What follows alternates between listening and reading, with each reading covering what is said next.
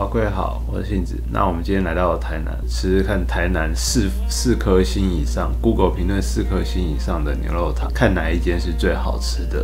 Go！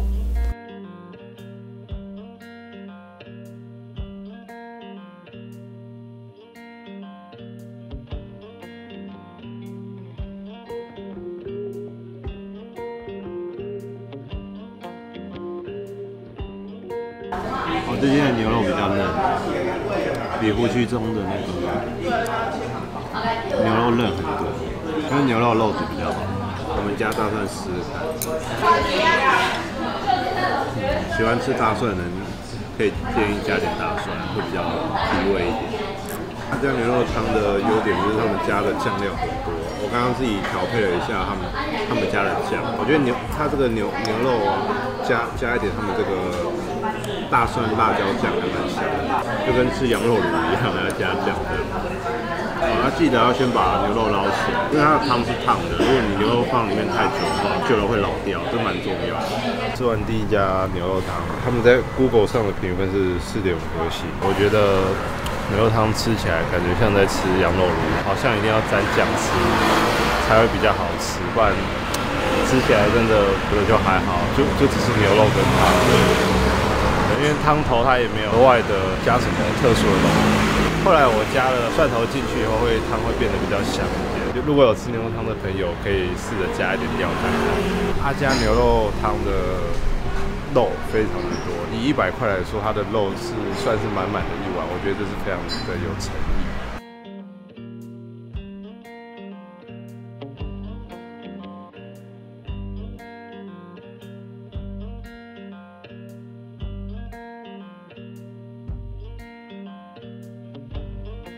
OK，那这家是红品牛肉汤，刚刚我们已经把牛肉捞出来，不捞出来会变老，所以要捞出来。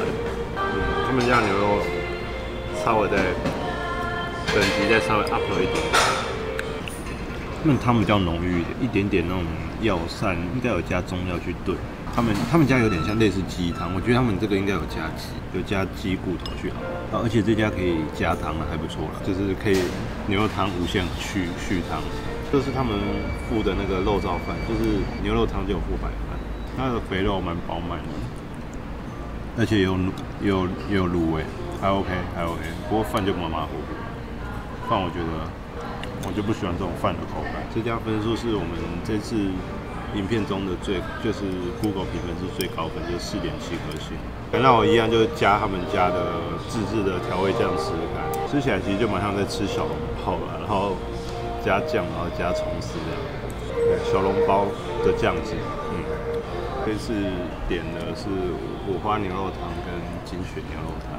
这两种都牛肉都还蛮不一样的嚼劲，就是看你喜欢吃哪一种肉。如果想要吃油花多一点，就是点五花牛肉汤；不然精选的话，我觉得啊，这个这是精选的肉片，这是五花的，五花比较多，筋会比较多一点。吃完红品牛肉汤了，顺便买了一个他们家自己做的牛肉干，到时候来吃看看好不好吃。整体而言，我给它四颗星。温差环境啊，跟服务品质，然后加上肉质还算真的不错，就跟前面前面那几家比的话，算已经算真的不错。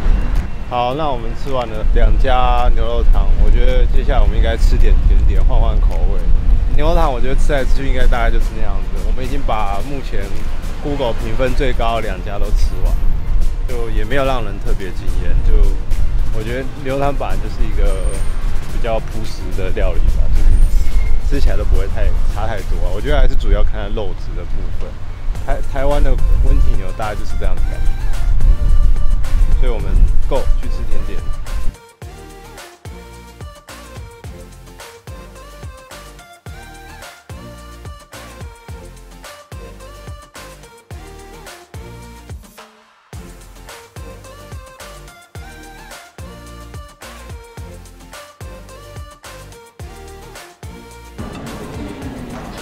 我觉得没有我想象中那么甜，因为我一直以为台南的甜点都会到特别甜。它的这个千层派饼皮蛮蛮软的，鲜奶油的话，我觉得也比较不腻，个人觉得还不错。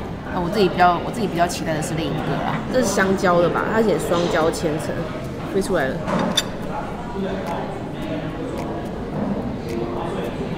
我觉得喜欢香蕉的人一定会喜欢这一个，它有两层嘛，第一层应该就是香蕉，然后第二层有点巧克力的味道，就香蕉加巧克力，其实就是很完美的搭配。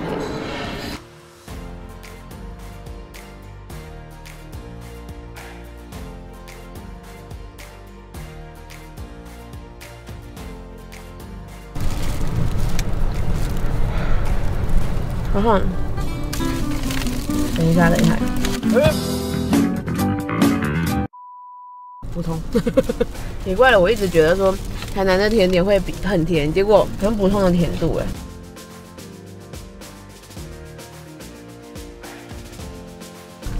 它饼皮很脆，就是饼皮的边缘的部分。像吃这个红豆饼，我又蛮喜欢吃那种饼皮，它的脆脆的口感是不错的。然后内馅的部分，它的红豆馅料是真的蛮足够的，不过甜度真的没有很高，害我以为这边不是台南狗。可是我觉得这样甜度是蛮 OK 的，爱吃甜的可会觉得不够甜，可是以我这种三十岁中年大叔来觉得，我觉得这样红豆是比较耐吃的。二十块钱一颗，我觉得还可以接受啊，可是也没有到一定要买，非非买它不可。现点现做，所以要等一下，等到我快睡着。哦，它的奶油。奶味比较重，而且甜分真的没有那么多。台南的甜点其实都是比较不甜的嘛，这我就是这个我喜欢。